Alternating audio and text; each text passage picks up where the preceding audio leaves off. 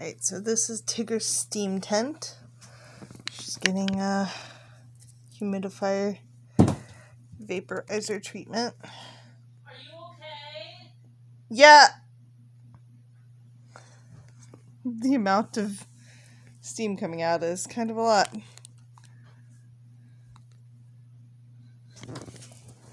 Here she is.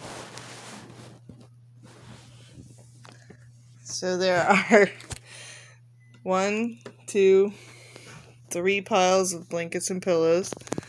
Tigger's here.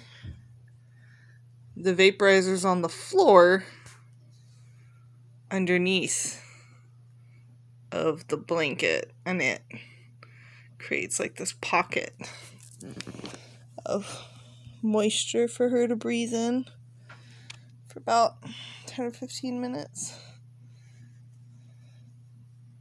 Leave this one up for a vent.